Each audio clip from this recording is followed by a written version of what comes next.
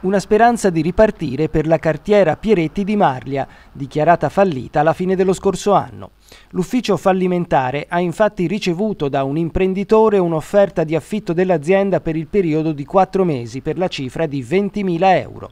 Ma soprattutto al termine di questo periodo l'acquirente sarebbe disposto a rilevare lo stabilimento a titolo definitivo, sborsando un milione e mezzo di euro.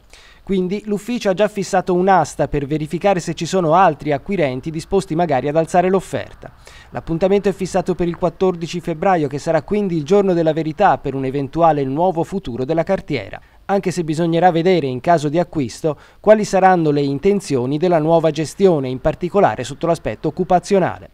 Al momento del fallimento i dipendenti erano rimasti circa una ventina. Fino all'ultimo i sindacati avevano tentato di evitare la fine, anche organizzando presidi davanti all'ingresso dell'azienda.